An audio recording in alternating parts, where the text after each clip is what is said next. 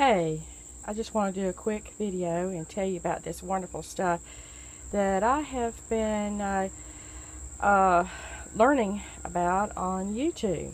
Everyone has been raised, just raving about this azomite, A-Z-O-M-I-T-E, A to Z of minerals, including trace elements.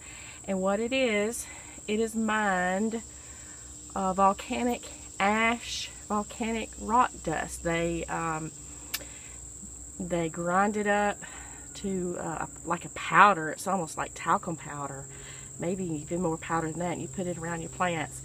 And I thought I would try it. And I'm going to show you some amazing uh, results so far just in a week's time. Here I have some corn uh, that I planted.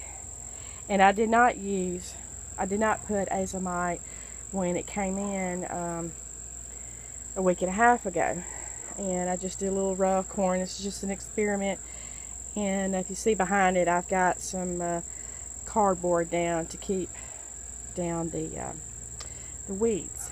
But I want you to look at these these uh, stalks, and uh, then I'm going to show you some corn that was planted nine days later after this corn, and I put azomite on it uh, just a little more than a week ago.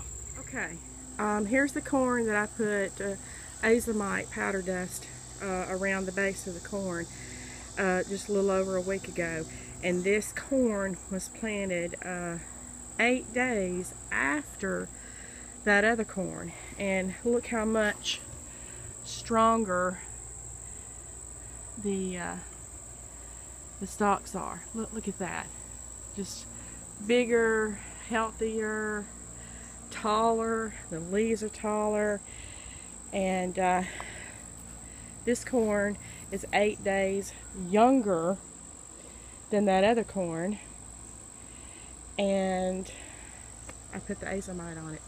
Isn't that amazing? Now I'm going to show you uh, a pumpkin vine that was just dying and I thought it was all gone and now it's reviving. I'm going to show, you, show okay, you that. Here is a pumpkin vine that I had planted earlier this summer and I've already harvested the pumpkin but bugs got into it and it just got ruined.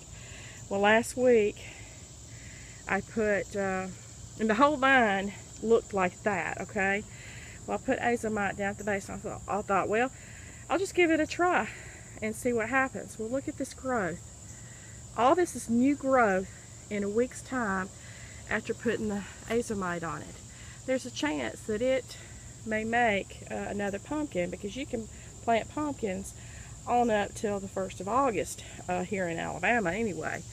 But look at that. All this is new growth in a week's time after putting azomite. And it looked like that uh, on my pathway right there. Isn't that amazing?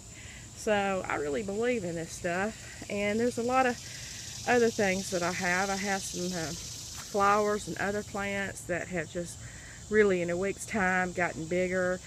But I just want to tell you about azomite. Uh, some people believe that it works, some people uh, doesn't. But uh, what I've seen around here, uh, it really works. Uh, it's called azomite. It's mined out of Utah from volcanic ash that they mine. Anyway, happy gardening.